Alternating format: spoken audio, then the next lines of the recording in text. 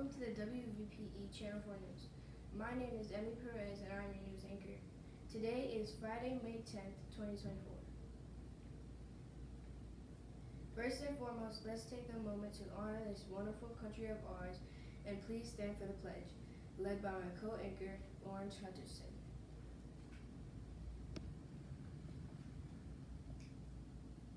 I pledge, I pledge allegiance to the flag of the United States of America and to the republic for which it stands, one nation, under God, indivisible, and liberty and justice for all.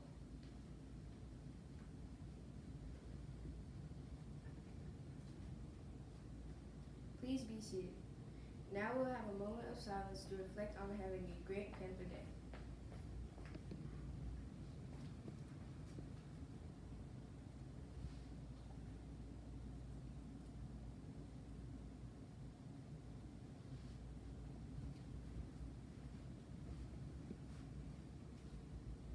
Today's school lunch is chicken marinara pasta bake.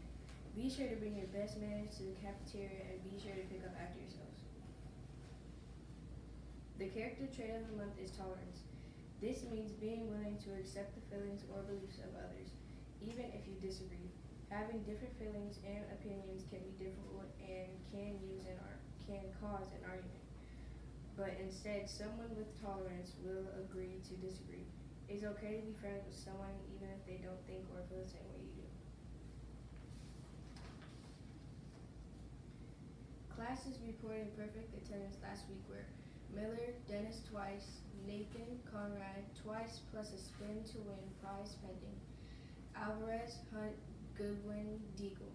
Thank for being here every day and on time. The attendance class of the week is drumroll please. Is is this is record.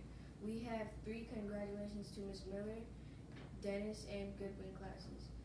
They are all uh, they are all our attendance classes of the week. Yet keep being here. Remember to remember the number one school rule is keep your hands and feet to yourself. Please treat others with respect, and they will do the same for you.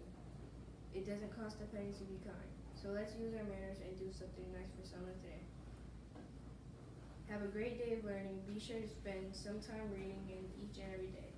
Just 20 minutes a day, you can become a better reader in no time. Remember, readers are leaders.